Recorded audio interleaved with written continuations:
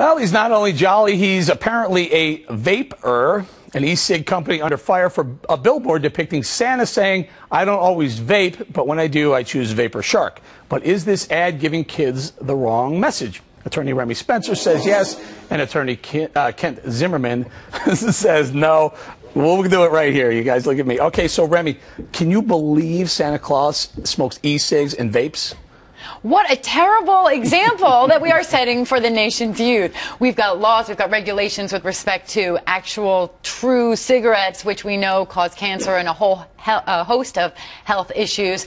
This e-cigarette is promoting unhealthy behavior for children. It's making it cool. It's why put it in a Santa Claus hand unless you're trying to get a young generation hooked on it. Nobody disputes that these e-cigarettes are full of nicotine and they are addictive. Mm-hmm. Why are they trying to get the young children involved in e-cigarettes? Mr. Zimmermann, I remember when they pulled ads. Remember Joe Camel? Yes. They weren't allowed to have um, a cartoon uh, endorsing cigarettes. No, but this, but Santa's okay for e-cigarettes. This isn't a cigarette, though. It's not a tobacco product. Some of them don't even have nicotine in them. And what I would say is, if we outlaw this, Where's it going to stop? Are we going to not allow fast food advertising for kids? How about soft drinks? Is everything that might potentially, and by the way, the FDA said this might potentially be harmful. So if everything that might potentially be harmful, we're just going to outlaw that, the government should stay out well, of let's this. Have, we asked the company, we reached, we reached out to the company for a statement, and they're saying this. They said, quote, we use electronic age verification in all of our stores. We make products for adult former smokers. That's it.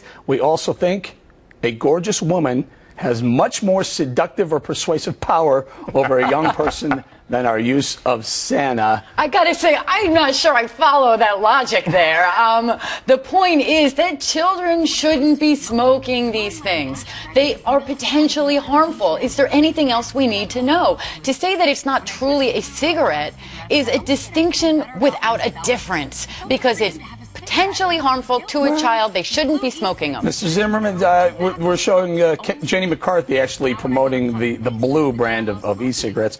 Distinction without a difference, Remy says, but there is a difference here, isn't it? It's a huge difference. Listen, there's 50 million people or so that smoke tobacco. There's a widely held perception, a lot of evidence that those are dangerous. You've got e-cigarettes. People use these to quit. The more people that smoke e-cigarettes, the less that smoke tobacco. So do we want to outlaw something that decreases the use of something harmful. But we're Come not on. talking about outlawing. That's the thing. We're not saying you can't go to the store and buy them. You, we're not saying that you can't smoke them if you want to. We're saying let's not target children. These are not toys. Let's sell them to adults who are making knowing decisions about what they're doing to their body. Great, good point, though, Ken. Well, you're clearly targeting children when you use Santas for an ad uh, in your ads, right? The so listen. Do I think it's tacky?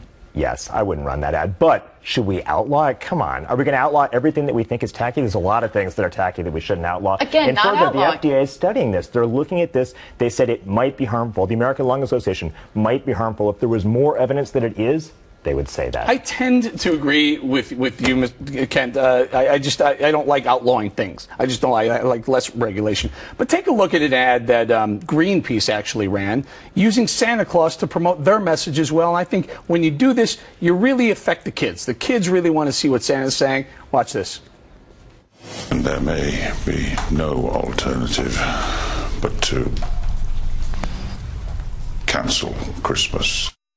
Okay, so that fake Santa thing in the red and the bottom, we put that on. They didn't actually have it on there. So kids watching this, they're on the internet and they see it, and poor Santa saying, "We're canceling Christmas because of global warming." Oh my goodness! And what's next? If Santa's smoking an e-cig, is it Barney? uh, are we going to see, you know, at Toys R Us, you can pick up your Legos and your e-cigarettes? Look, no one's saying take them off the shelves completely. We're saying target an audience the same way that true cigarettes are being targeted. Let's regulate just that much about about how they're going to advertise, not to children, just to adults. But using Santa, you have to admit, the kids are the ones who are focused in when Santa Claus comes up, right?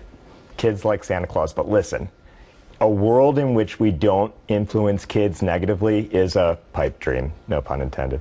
But listen, we can't have everything based around outlawing things that might wrongly affect children. That's not the free market system that we live in. We live in an appropriately regulated market.